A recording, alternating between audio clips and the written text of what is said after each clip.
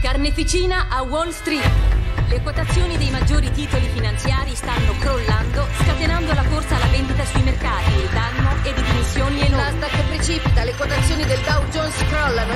è sceso di petrolio. altri 180 punti, il panico è alle stelle. Si possono letteralmente sentire le grida. Ecco, mentre parlo, l'indice continua a scendere. In una frazione di secondo siamo a 260 punti. In totale il Dow Jones è a meno Come 500. previsto dall'associazione costruttori, la flessione dell'edilizia sta causando un terribile crollo del mercato immobiliare. Siamo ai minimi storici, meno 724 punti. Quello di oggi è un triste primato per i Dow Jones. Mentre gli investitori subiscono ingenti perdite, un altro noto istituto bancario è vicino al collasso. Fervono intanto i colloqui tra lo staff del presidente, il segretario del tesoro e la Federal Reserve.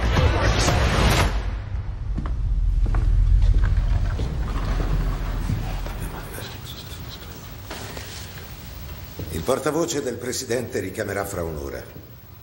Sono a colloquio. Vorrà sapere da me che pensiamo di fare. Non è come con la Keller Sable, Bill. È una banca troppo grande per fallire, Sì, sarebbe davvero folle. ma va risolto. Ci sono 70 miliardi in derivati in mano a meno di 20 banche. Per come vanno le cose non possiamo sapere come andrà a finire. Quanto sarà la perdita? Almeno 500. Io dico più 600. Bill, secondo me Harry e Charlie sono ottimisti. Io penso a 7, anche 8. 800 miliardi?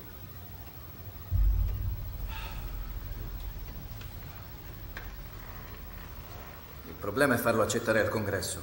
Vorranno sapere che fine farà quel denaro. Non sarà facile convincerli. Spaventateli. E come?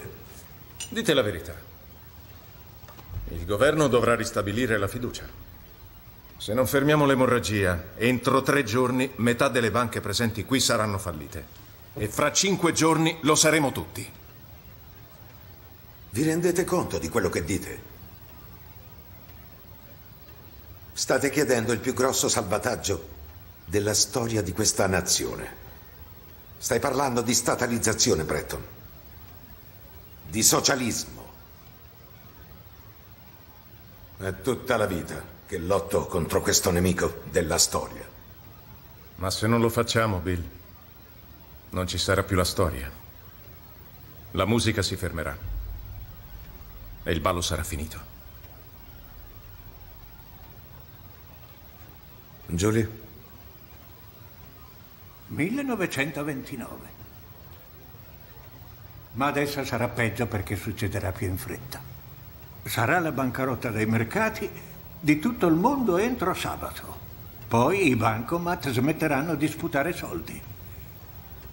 A quel punto qualunque intervento sarà inutile. Le banche chiuderanno tutte. La gente andrà nel panico. Tu vuoi assistere alla fine del mondo, Bill? Sì?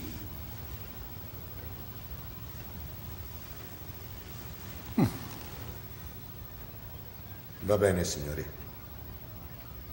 Vi faremo sapere.